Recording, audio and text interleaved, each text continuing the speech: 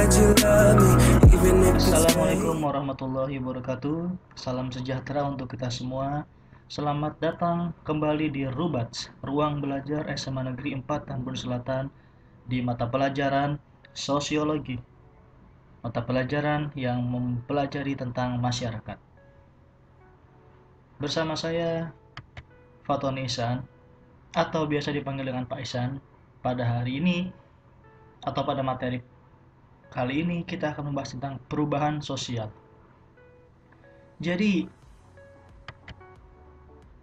asumsi yang pertama adalah setiap masyarakat pasti berubah dan perubahan sosial adalah suatu keniscayaan atau kepastian yang terjadi di dalam masyarakat. Kalian dari dilahirkan di dunia menjadi bayi, anak-anak hingga dewasa itu mengalami perubahan secara biologis dan secara psikologis dan secara sosiologis akan mengikuti. Manusia pasti berubah dari tahun ke tahun dan masyarakat pun berubah dari tahun ke tahun. Pada tahun 1900, teknologi yang berkembang saat itu adalah media cetak sehingga seluruh masyarakat mengkonsumsi informasi yang ada di media cetak. Namun pada tahun 2000, media cetak beralih ke media elektronik informasi beralih dari yang semula sifatnya tekstual menjadi informasi yang sifatnya digital seperti smartphone, laptop, dengan smartphone, dengan laptop, dengan komputer kalian bisa mengakses informasi yang ada di dunia ini. Itu adalah salah satu wujud dari perubahan sosial. Namun apakah perubahan sosial itu hanya bersifat teknologi? Tidak. Perubahan sosial mencakup dari hal yang terkecil hingga hal yang terbesar Contohnya, pada tahun 1900 kita kenal namanya Elvis Presley. Elvis Presley adalah sosok pria ideal pada waktu itu. Memakai celana bergaya cutbray, dengkul kecil, ke bawahnya panjang, bulu dadanya kelihatan, dan jambangnya panjang. Elvis Presley pada saat itu adalah lelaki yang ideal. Namun, apakah sosok lelaki ideal pada zaman sekarang sama seperti Elvis Presley? Tidak. Ini adalah sosok lelaki ideal yang sebagian besar digandrungi oleh remaja-remaja perempuan. Jadi dari segi mode pakaian pun berubah. Sekarang pada intinya adalah what the social change? Apa itu perubahan sosial? Para ahli yang pertama ini adalah dua orang kembar yang bernama Gilin and Gilin.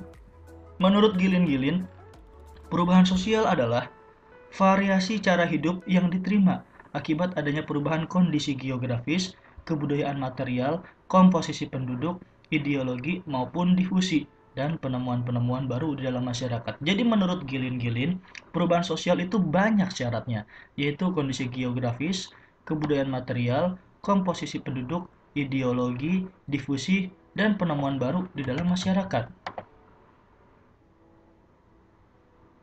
Yang kedua, perubahan sosial menurut Samuel Koenig.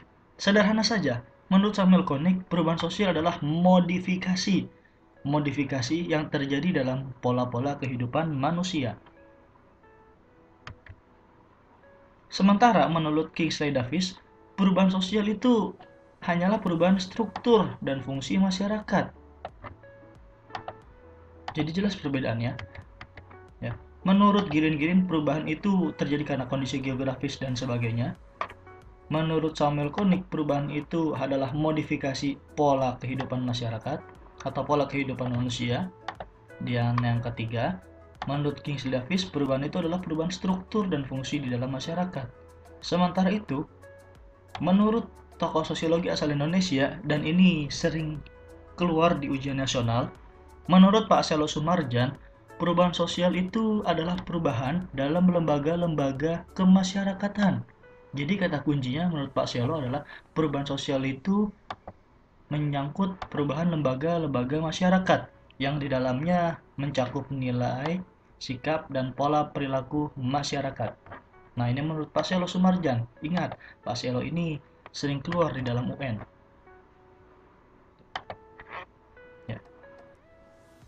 Jadi secara keseluruhan perubahan sosial itu adalah atau secara benang merah secara garis besar, perubahan sosial itu adalah kondisi terjadinya variasi dan modifikasi di dalam tatanan masyarakat dari struktur sosial yang lama ke struktur sosial yang baru. Pada saat kalian ujian, kalian bebas mau pilih perubahan sosial menurut siapa pun, menurut Kingsley Davis, Pak Selo Sumarjan, menurut Gilin and Gilin, ataupun secara garis besar seperti ini. Hey, hey, pop the trunk, I open up, I sold my soul a good price, out of sight. My whole got talent, right? Whole squad ran do that shit, yeah.